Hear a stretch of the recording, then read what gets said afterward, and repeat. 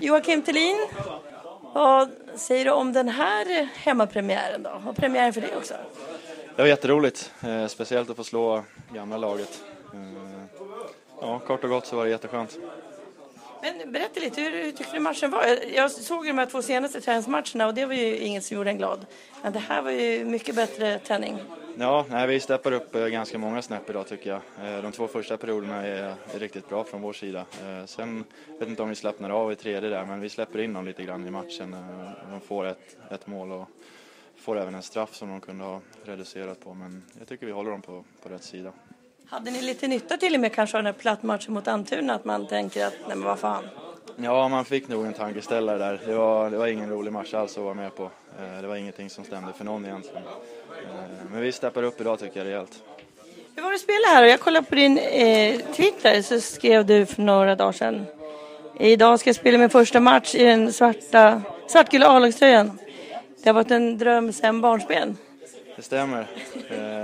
Eh, Men du har ju spelat någon säsong som junior här. Ja, jag var med sista i 20-året och fick även en match i, A-laget då, men då satt jag Var på du på isen då överhuvudtaget? Nej, bara på värmningen och mellan perioderna. Så det, Du sitter på bänken under matchen. jo, ja, på bänken fick jag sitta. Ah, ja, fick precis. Du får åka ut och känna lite på isen i pausen där. Ja, precis. Ja, Så det här är verkligen din riktiga A-lagspremiär får vi säga i AIK. Jajamän. Berätta lite om den här barndomsdrömmen då. Alla vet väl att din pappa är Mats, men, men hur har din AIK-dröm varit?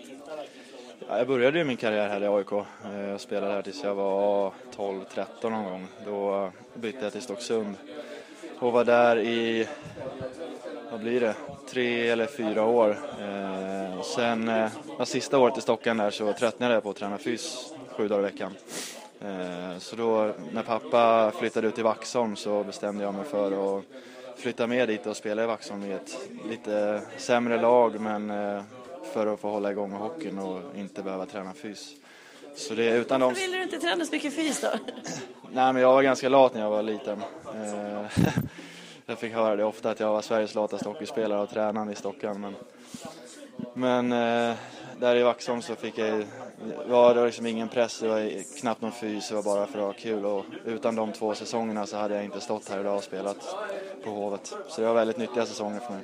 Lite nyträning där, fick ha lite kul. Jajamän, det gick väldigt bra också. Eh, Så det är, nej men det är två väldigt bra säsonger för, för min egen utveckling. Men det har ju blivit alla möjliga klubbar sedan dess. Jag var tvungen att skriva upp här. Eh, efter Vaxholm så blev det även ja, AIK då i en säsong som junior då, den där. Men sen efter det, Kriff, Alvesta, Helsingborg, ett par säsonger och så senast Västervik. Varför tog det så lång tid att komma tillbaka till AIK då? Nej, jag fick, eh, fick välja efter I20-året där att stanna kvar som överårig i I20 eller söka mig vidare. Eh, och då ville jag ut i seniorhockeyn. Eh, så då valde jag att skriva på för Kallinge-Ronneby då. Eh, och där hamnade jag lite i, i skymundan av, från tränaren. Han, eh, det gick bra med det laget vi hade och då var jag från sidan redan från start och då körde han vidare på dem som, som spelade då. Och då. Efter halva säsongen så blev jag utlånad till Helsingborg i samma serie då. Och då fick jag förtroende från dag ett och då gick det mycket bättre. Sen var jag kvar där i två hela säsonger till.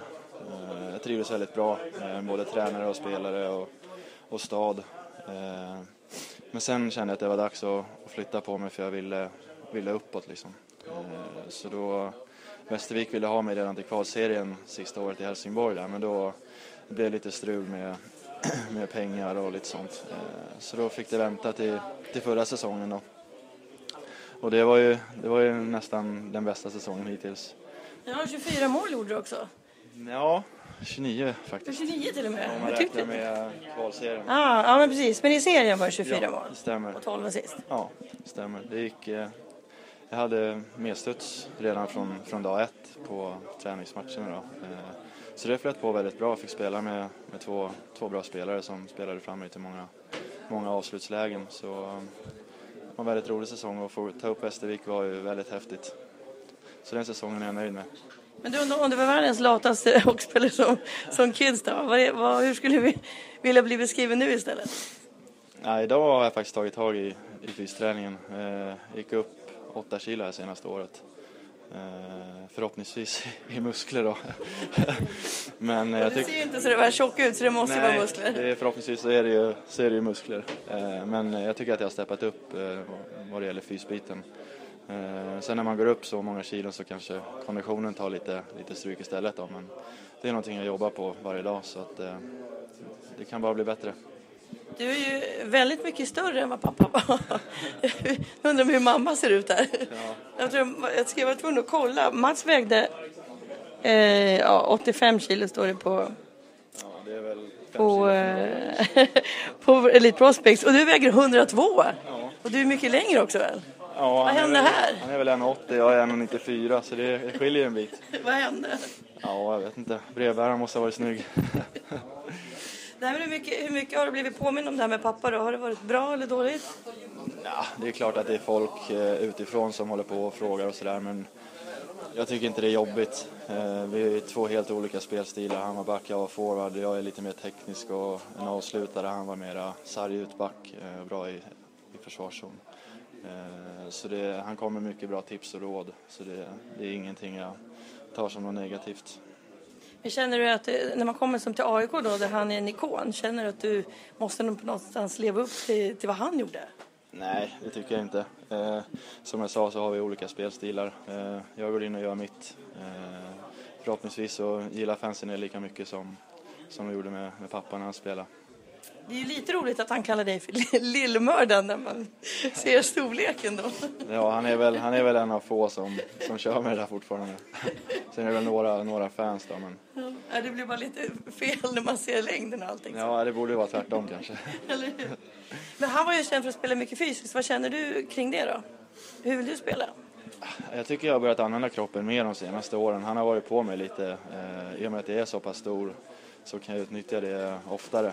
Eh, jag har väl inte varit den som går in först i alla närkamper under, under yngre år heller. Eh, men jag tycker jag börjar använda kroppen mer och mer. Eh, speciellt förra året och i år har jag försökt att tänka på det också. Och inte nog att det var din eh, riktiga premiär då, du fick en assist och nästan en assist också. Ja. Det var ju fjärde person, eller egentligen först då av en, två, tre, fyra vid första målet. Ja. Och så fick du assist vid, vid andra. Ja, nej, men det är alltid roligt att poängen trillar in redan från, från första matchen. Jag har haft många lägen nu på försäsongen som, som inte har gått in. Eh, så det var skönt att det, att det lossnade direkt. Stod det mycket, om det här är en barndomsdröm, stod det mycket i klacken när du var liten? Alltså pappa han ju slutat spela, om man räknar på årsrätt så kan inte han spela, han spelat typ tre år. Ja. Men har du sen fortsatt att stå i klacken och sådär? Hur, hur har du följt AIK? Ja, jag har gått på ganska många matcher faktiskt, det har jag gjort. Eh, och speciellt när jag spelade i 20 där eh, sista året så, så fick vi gratisbiljetter. Så då, alla hemmamatcher var man i stort sett på. Eh, och satt och kollade och tyckte att det var skitkul. Men jag stod nog aldrig i klacken faktiskt. Jag är inte den som ställer mig och skriker. Jag är ganska laid back av mig sådär. Men om det var en barndomsdröm, hur var känslan då när du stod här i spelargången och sen fick ta dig ut? Det var ganska lugnt fram till att jag kom ut på isen. Jag eh, hörde fansen stå och skrika där. Då, då fick jag gåshud faktiskt om jag ska vara ärlig. Så det var väldigt häftigt. Och seger och assist, det var egentligen bara mål som fattas? Ja, jag hade ju några lägen idag igen men förhoppningsvis så, så, så släpper det i framtiden. Men, men vi vann och fick tre poäng och det är jag jättenöjd med. Jag måste bara konstatera, apropå storlek, du, AIK har haft ganska små spelare men nu är det ju fler som är Simon som gjorde första målet, han är också ganska lång. Ja, han är längre än vad jag är faktiskt. Eh, några centimeter. in lite, lite längd här nu den här säsongen. Ja, du såg ju AIK förra året, tyckte du att det behövdes? Ja, det fanns väl några som, som stack ut lite. Vad det, ja, det var inte många, dansken var ju lång. Men... Ja, Fredriksson var ganska lång också. Eh, men eh, det är alltid bra att ha några lite större forwards som kan använda kroppen. Så att, eh, det ska jag försöka, försöka bidra med lite mer.